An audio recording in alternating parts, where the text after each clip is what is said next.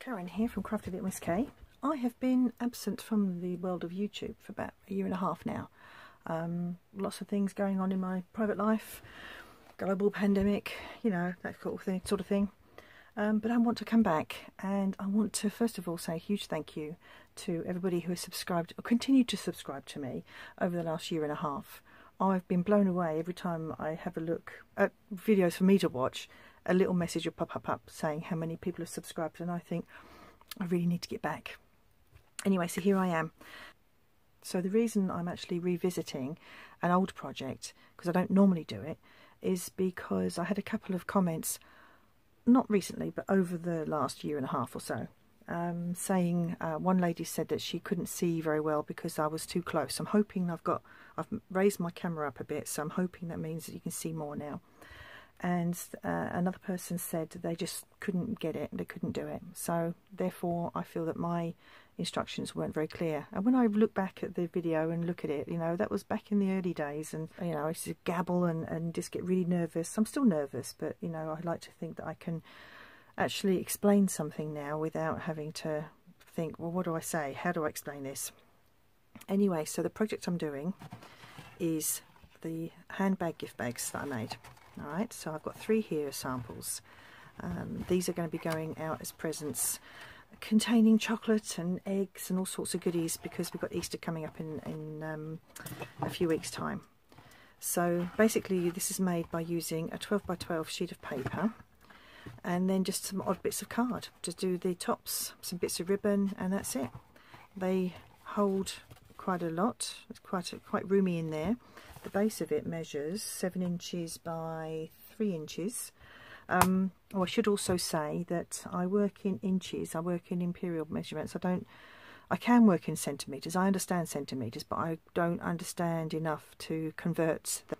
I will try again sometime in the future and I will make sure that I do it in centimetres, okay? Anyway, so yes, this is what we're making today. So I'm just going to move this right out the way. I've got a few bits and pieces on my worktop now where I've been working today and uh, try and make a bit of space. Right, so the paper I'm using is this floral and the reason I'm going for a light floral is because when I was making this one it was so hard because even the back of it is, is dark as well and it was just so hard to see where the score lines were. So I'm going for something a bit lighter.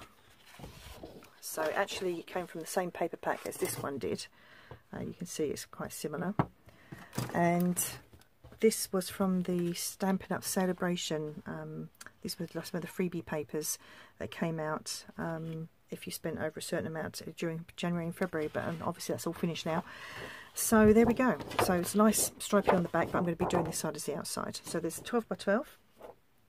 And then we just need two pieces of card which measure 7 inches by 1 and 3 quarters two circles, these are one inch circles, um, some very strong magnets, there's my magnets there, I buy mine from Spider Magnets which are on eBay, they're on Amazon, you can probably go direct to their website, but I think they're amazing, they're really really strong, they, they, I'm not even going to try and pronounce the word they call them, you know, those, those really strong magnets. And then finally, you want this a, shape, doesn't have to be this one, you need a shape for the clasp of the bag, okay? Now I like this one because I like the scalloped edge on it. So this this one came from uh, lots of labels Framelits, a Stampin' Up. Old ones, they're now retired, and it's the largest one. So if you happen to have that set and you want to use it, it's the largest die. If not, you know, they can be oblong or rectangular, circular, oval, whatever you like. If you've got some nice framelits that you like, or you know, some of these layering um, dies, and you like the shape of it, use it. You know, don't just think, oh no, I must use the one that Karen's used. I happen to like that one. Anyway, so um, there's a little bit of scoring. Once you've cut out the pieces of card, there is no more cutting because the bag is made out of one piece. It doesn't, you don't have to cut it at all. So what I'm going to do is I'm going to bring back the, the card pieces first. I don't need the circles so they can go over with the magnets. And so my die measures four and three quarters across. I'm going to score it at two and three eighths. And hopefully, if I've got that, if I've remembered that rightly, yes. okay. And then the two pieces of card where they you take the short bits. So this is one and three quarters. You just score it down at seven eighths of an inch.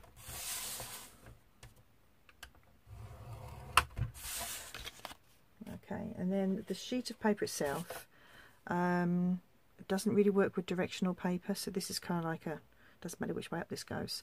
So you start off with two and a half, turn that round 180 degrees, so your score line is now over there, and it's two and a half again.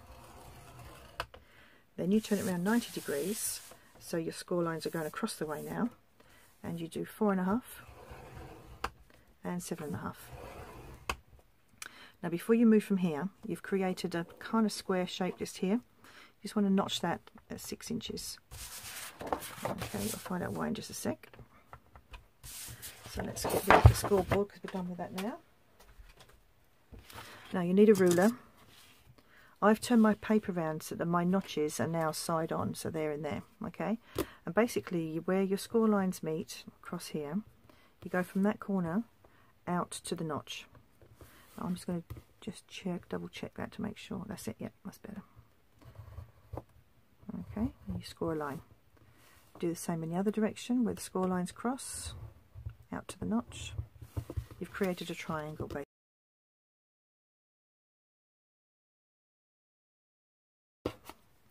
And that's that. So before we touch those triangles, I'm just going to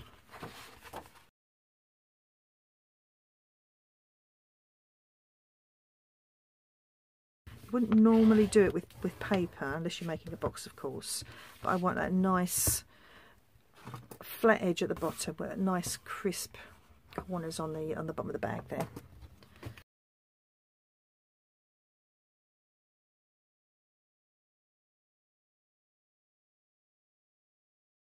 Okay now well you've got the back of your paper face up just pinch where you made those diagonal lines to create that triangle on both sides. Like so. Okay. And then with the wider score lines kind of like in this direction so your narrow ones are going across. So it looks like that. Down here actually you've got to close first. I'm, I'm, stepping ahead of myself doing the next step already. Okay so basically while you got them closed like this you've got a score line going across here okay? That score line needs to meet that folded edge just there. So if I stand up so I can so I know you can see what I'm doing here. So you just if you can't find it put your finger into the corner bring it up and then fold it over to meet if I just move it out of the way I'm folding it over look to meet the edge of the folded line and then just use your other hand, the other finger, just to do the line inside. So again, line into the corner, bring it over, bring it down to meet the folded edge there, and then just use your bone folder then just to press out that line nice and sharp. Do the other side with the score line, hold on to it in the corner, bring it out, bring it down. And then finally on this side score line. Bring it down. And then just use your bone folder. That's it. So you end up with that. I'm going to sit down again so I'm not shouting in your ear. Okay so what we're going to do now is open it out and where that new score line is just here that you created just now we're going to put we're going to glue inside that. If I put that there and where's my ruler? So i have got my score line coming down here score line coming down here and that new score line there. So this area here needs to be um, stuck down. So a little bit of wet glue. You don't have to use wet glue. I prefer wet glue but you can use your tape runners you can use your double-sided tape here. So let's just mark out oops mark out the area that I'm gluing down.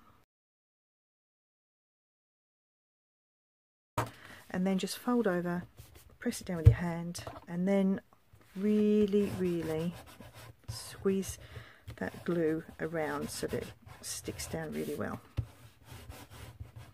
Providing you haven't used too much nothing's going to come out the top there and do the same on this side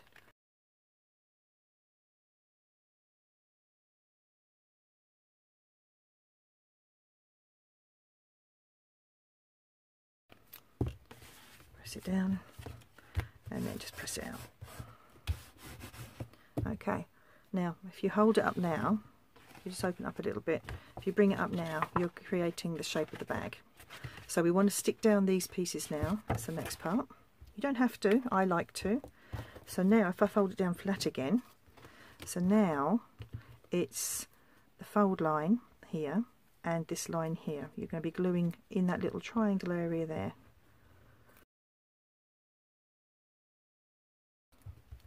And then bring it down, press,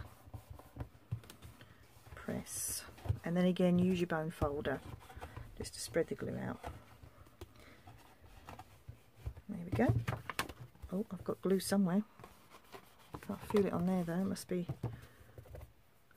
Alright, got a tip. If you get a little sticky patch on here, on your paper or on your work surface, just use a clean, I've just got a clean pencil rubber here, and just rub away the glue.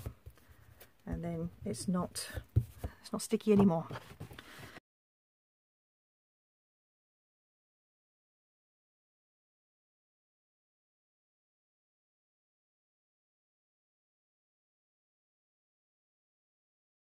Okay, so you've created a box type base. Alright, put them off to one side for the minute. Bring in your two strips. Fold. Burnish to create a nice sharp crease on there.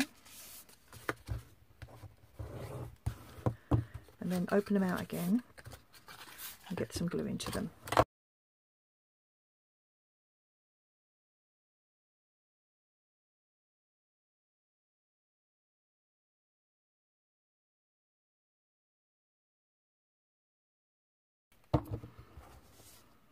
Alright, bring your bag back, lay this over the top, press it down, make sure it's even, press it down again, and then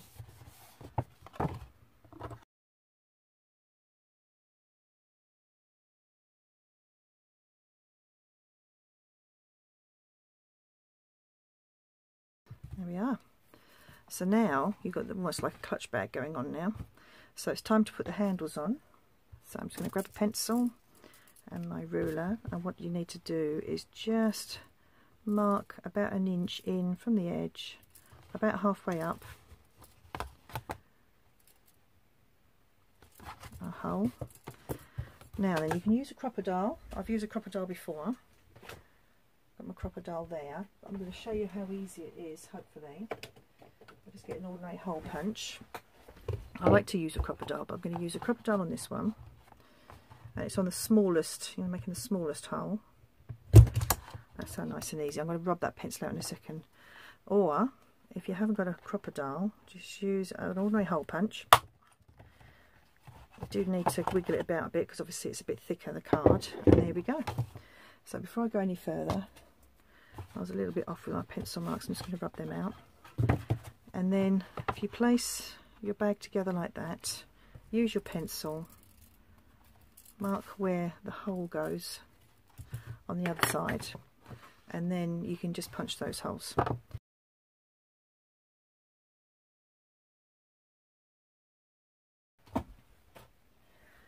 So, and then it's not essential, but I like to check, make sure the holes are nice and even.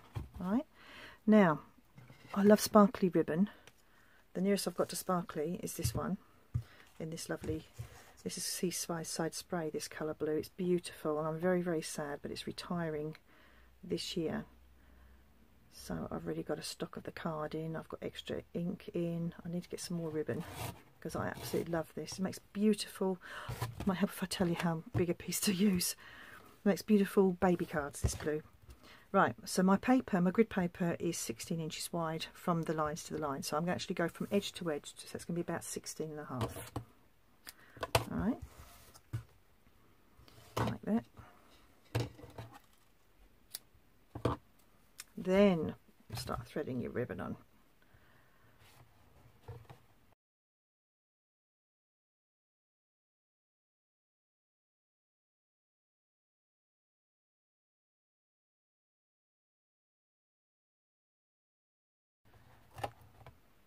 Okay, now you can either tie a knot each each end here or what I like to do is I just like to tie it together and I use a clove hitch granny knot I don't know what it is left over right right over left.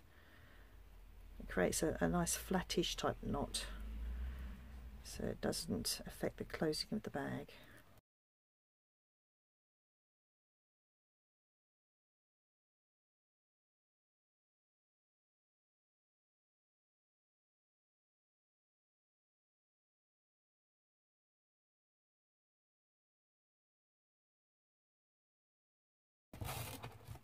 Okay, now I'm just going to trim off those long pieces and then because it does fray, I'm actually going to use my lighter. Oh gosh, I've just touched the my lamp, there we go. Uh, I'm just going to use my lighter just to bind off the ends so it doesn't fray anymore. Be very, very careful. Obviously you're using paper here.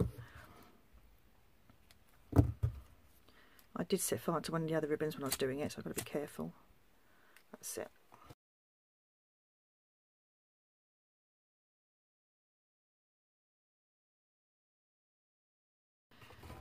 Right, now just to make that nice and neat so it's not all baggy at the bottom there, glue dots.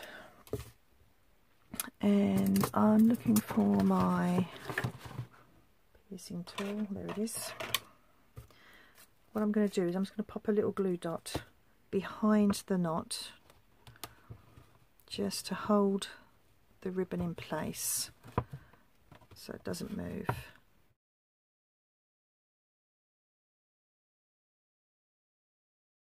You turn it so your tied bit is facing the the um, the edge of the bag, then they don't stick up.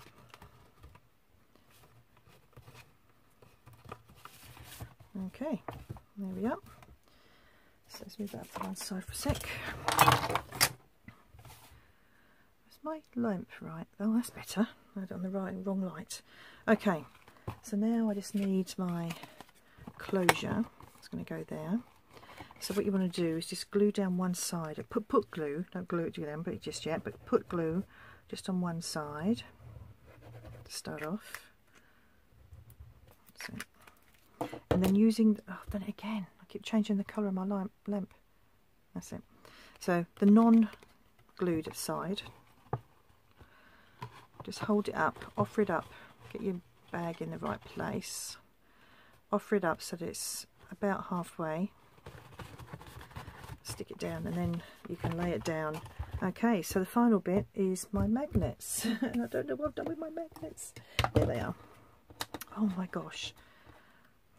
I'm just going to change my lamp back again. Keep touching the uh, control on it.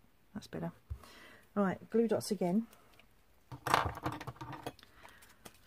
So you put glue dot, you've got them both stuck together already. Glue dot, stick them onto your bag. Glue dot onto the other magnet. And then make sure you want you got it exactly where you want it. Just give it a little squeeze. Now these, because they're very strong, they'll probably pull the glue dot away. So if you slide it, it comes undone without pulling pulling off the bag.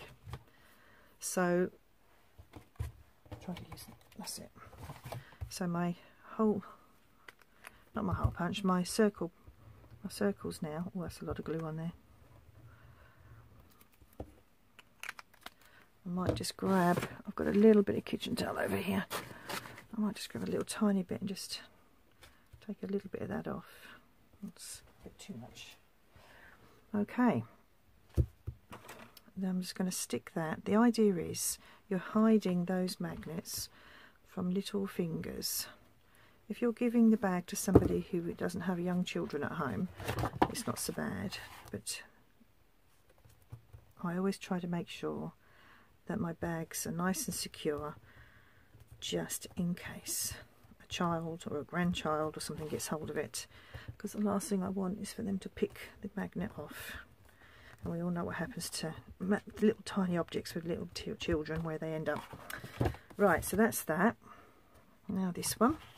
Obviously try and be a little bit more gentle with the paper. Although once it's stuck down and you've got it laid down, you can push it. So, okay, once it's all stuck down and secure, when you close it nice little snap. And obviously we don't want to leave it plain like that so I'm just going to get a bit more ribbon. And I'm going to make a bow. So two loops bunny ears tie a knot and then just pull your ribbon loops or the tails rather until you're happy with the, the bow. Might make that one just a little bit bigger. And then just make sure you tie it nice and tight that knot is perfect. I'll adjust the length of the tie the tails in a minute. Lay it down flat on your worktop a couple more glue dots. I absolutely love glue dots. I use loads of them. Handy little things they are. And then I'm going to lift that up just literally just a smidgen above where that lump is where the magnet is. Pop your ribbon on close it down. And get my big scissors cut where I want the tail to be. That's about right. And then again if it's a ribbon that frays which this one is lift it away from the bag so you're not burning your bag. And then just quickly make sure your ribbon doesn't fray. Oh, I'm gonna, oh, ow, burnt my finger. Okay, there we go. That's it all done. Let's move all this bits out of the way. So there we are, beautiful gift bag there. And it will take a lot in there. Actually, it does fit over the side here. I just happen to have, I don't particularly like these. Um, dark chocolate ginger Thornton's bag fits beautifully in there like that or if you're giving it to a little one we can have maybe a couple of mini eggs in there and maybe a chocolate bunny as well. Again lovely okay. Or you can put makeup in there perfume in there money in there although it's a little bit big to put money in. Um, yeah put anything in there. You could probably get a little bottle of wine in there. I'm not quite sure how long I've seen little miniature bottles that fit inside that. So there we go. So there's my lovely bag. Hopefully the instructions have been a bit more clearer now and that you've been able to see. Okay, so if you like what you've seen and you're not subscribed already, please do subscribe. Like I said at the beginning, I would love really to make the four figures, to make a thousand on my subscribers on my YouTube channel. Um, I won't leave it so long next time. Let's bring all the bags back in, although you can't actually see them looking straight on. I'll get some pictures I'll put at the end. Um, and um, have a lovely day. Have a lovely crafty day. If you do make the bags, let me know how you get on. Um, in the meantime, take care and bye for now.